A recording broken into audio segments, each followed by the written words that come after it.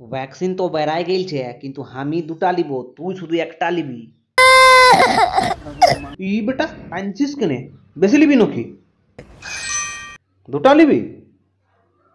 শুন বলছি ভ্যাকসিনটা নিয়ে লে কেন রে ভ্যাকসিনটা নিলে কি করোনা হবে না অথা মাঝি সটা খুলি ই বেটাকে নাই মারলে বুঝবে কেই নাই। হ্যাঁ রে মোটু সবাই যে ভ্যাকসিন নিয়ে আসছে রে তুই যাবি কি নাই? যাইস না রে বাপ ওখানে যা ভিড় যা মারামারি চলছে যে পুলিশেই না। রে ভাগ্যই পালি রে বাপ দুই ঘণ্টার পর। হ্যাঁ রে বেটা ট্রাম্প আমি যে শুনলি ভ্যাকসিনেশনের কাজটা তুই বেড়ে চাঁড়ে করেছিস আমেরিকাকে করোনা মুক্ত করে দিলিস? ঠিকই শুনেছিস কিন্তু সম্ভব হয়তো নাই। এই দুব ঘাস গিলা দেখছিস? কাঁচা দুব ঘাস খাওয়ালি বেটাদেরকে আপনি ঠিক হয়ে গেল। না মানে ভ্যাকসিন বেড়াই গেলছে তো আর দাঁড়ালে চলবে এক নাই যে চাঁড়ে যাবে সেই পাবে।